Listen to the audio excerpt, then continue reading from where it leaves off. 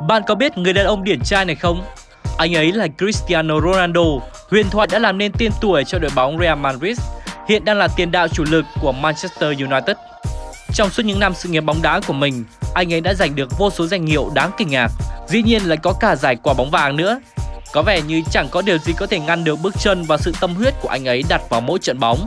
Vậy nên không ngạc nhiên khi sau 20 năm sự nghiệp, anh ấy đã có tất cả mọi thứ trong tay, từ tiền bạc, danh tiếng, vợ đẹp cùng những đứa con xinh xắn. Khối tài sản của Ronaldo được ước tính trị giá hơn 1 tỷ đô. Bên cạnh đó, họ còn có rất nhiều ngôi biệt thự đắt tiền khác nhau trên khắp thế giới. Với sự yêu thích của tôi dành cho MU và Ronaldo, thế nên trong video này chúng ta chủ yếu sẽ ngắm nhìn những bất động sản hạng sang mà anh ấy đã xuống tiền. Vì vậy, bạn không nên bỏ lỡ video này và chào mừng bạn đến với Phùng Design Official.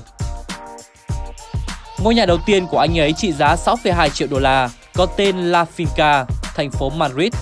Đây chắc chắn là một ngôi nhà đáng mơ ước đối với bất kỳ ai, bởi vì nó được xây dựng trên mảnh đất rộng 798 m2, bên trong bao gồm 7 phòng ngủ và 8 phòng tắm, cùng với một vài phòng chơi cho trẻ em.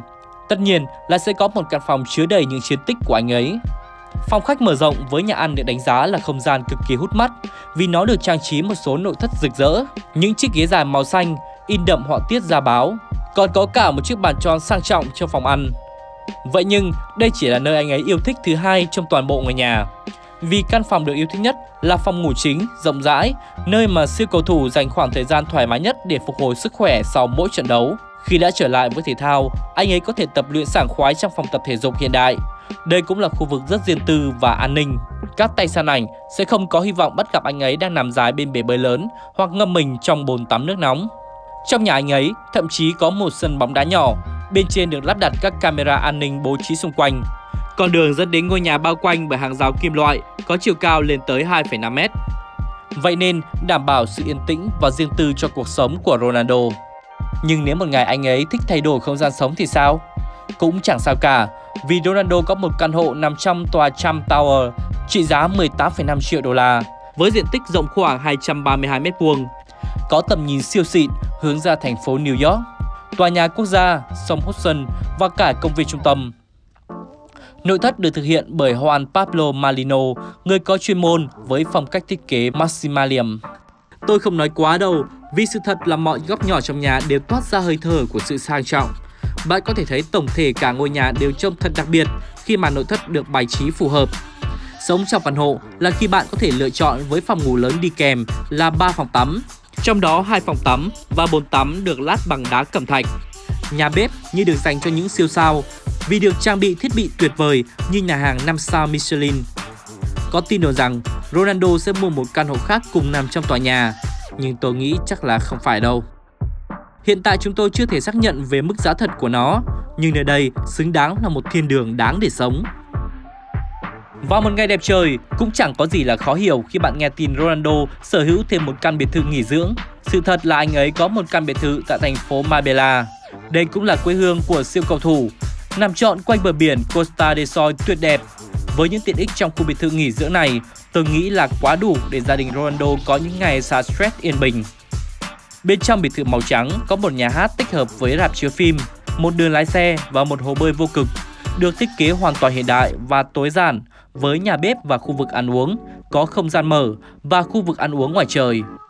Trong phòng tắm được lát đá cẩm thạch với cửa sổ kính trong suốt từ trần đến sàn, bên cạnh là vòi hoa sen để anh ấy có thể tận hưởng trọn vẹn sự thoải mái. Cơ ngơi rửa bóng cây và đủ rộng rãi nên vẫn đảm bảo sự riêng tư. Căn dinh thự của Ronaldo được ưu ái nằm trong khu vực gọi là cực phẩm của Costa del Sol. Nơi đây tập trung những cư dân nổi tiếng, trong số đó là ngôi sao UFC Conor McGregor. Nhưng có lẽ một ngôi nhà nghỉ mát ở Ý là không đủ để thỏa mãn sở thích của Ronaldo. Cho nên, anh ấy đã tiếp tục mua hai biệt thự thông nhau nằm trên một ngọn đồi có tầm nhìn ngoạn mục ra thành phố Turin. Đây là thành phố thuộc một vùng của miền Bắc nước Ý.